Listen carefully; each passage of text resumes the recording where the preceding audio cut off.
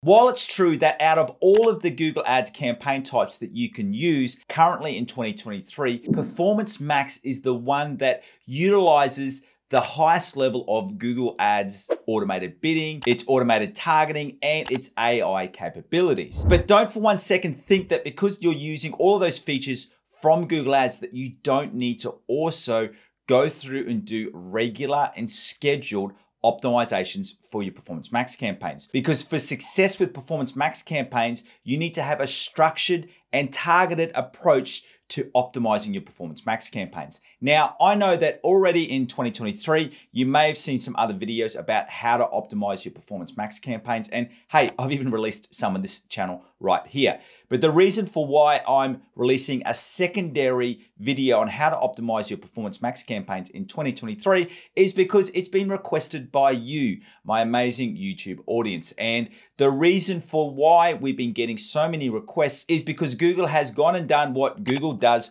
quite regularly and they've gone through and changed some things around. And, and one of the biggest changes is that they've changed the Google Ads dashboard and especially the navigation of the Google Ads dashboard. So to keep you up to date, what I wanted to do is to release that updated version of how you need to optimize your Performance Max campaigns the right way in 2023. But just in case we haven't met yet, my name is Aaron Young. I'm from Define Digital Academy and I'm your 15,000 hour Google Ads master. Now, as I said, when it comes to Performance Max, it's just not a set and forget. You need to make sure that you've got a really targeted approach and a targeted optimization strategy. And what I mean by that is that you know exactly what you're going to be optimizing in your Google Ads account. And the reason for why that is so important, especially for Performance Max campaigns, is because some of the optimization changes that you will make in your Performance Max campaigns, it may take one, two, sometimes even three weeks before you see the full benefit. Let me give you an example.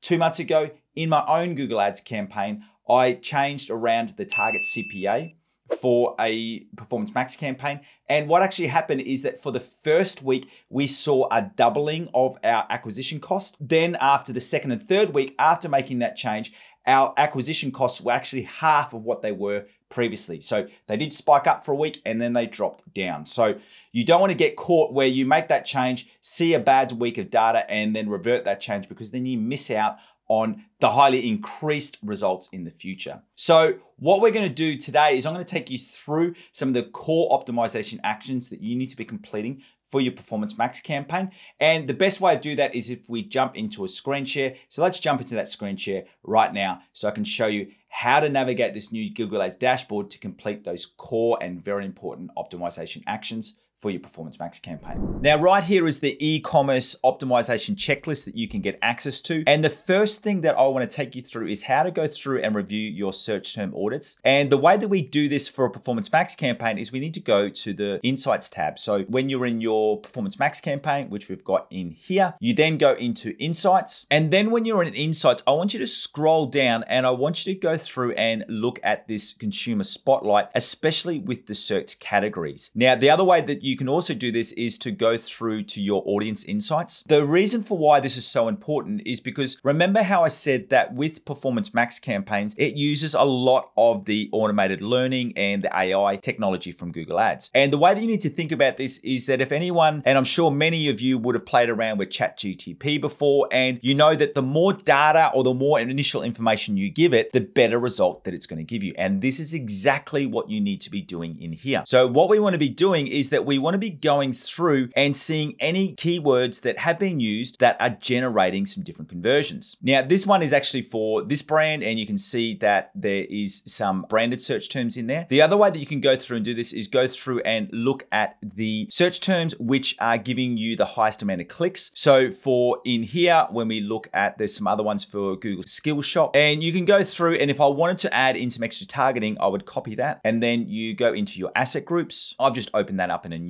window for us to make it a little bit easier. And then you go into your audience signal. And then when you're in here, you would then go through and add that into your new keywords. So we would go through and paste that in there. So the other thing that you can do in here as well is that when you're in this insights tab is to go into your audience insight and you will see these little green and these little blue markers. Now what that means is that the blue ones are ones that we've already added. So we've already given this information to Google. The green ones ones are ones that Google is optimizing for. So what that means is that you haven't yet added this to your audience signal, but Google is getting some great results in this one. So for example, especially for this one, like online Black Friday shopping, that's one that would be really highly targeted for us. So what we would do in here, same process. I just go through, copy that, go into my interest and demographics, and we just press paste. And you can see here, online Black Friday shopping, that's the one that we want to add. Now, if you wanted to, you could also add some other ones which are relevant. And once you've done that, you then go through and click save. Now, the one thing that I would do is that you want to click save because you want to select this option you save it to the current audience rather than setting it up as another copied audience. So the big thing there is you want to be going through this insights tab, adding in any relevant search terms and also adding in any relevant audiences. Remember, as I said, what we're doing here is we're just giving Google another verification that these are the audiences or the keywords that you want to focus on for your Google Ads Performance Max campaign. So the next thing that you want to be doing is you want to be going over into your asset groups and we want to be reviewing our ad assets. Now, this is similar to a ad copy split test. So what you want to be doing is that you want to be going into your view details and Google is going to give you a score of three. It'll either be best, good, or low. So what we want to do is we, let's just focus on these headlines and you can go through and do it for your images, your YouTube videos, everything. We want to go through and remove any with the low and only have performance scores of best and good. So let's just go to this one in here. We can see start learning Google Ads now. What we would do, obviously I've got others that I need to update, but we're just going to focus on this first one. You go into your edit ad and this was the one that we need to optimize and update. So you would just go through and change that one. And we might do this one where it says get instant access. And then we go through and click save. For ease, I just took a Google selection. What I would recommend is I'd recommend you actually go through, spend some time and craft some new different headlines. And then when you click view details, you can see from here that these are all now under review. So this one is in here. So these will go through and it'll take some time for this data to come through. So I'll come back after this video and update all of these other ones and make sure that we've got only headlines that have good and best. Now there is one more core optimization action that I wanted to show you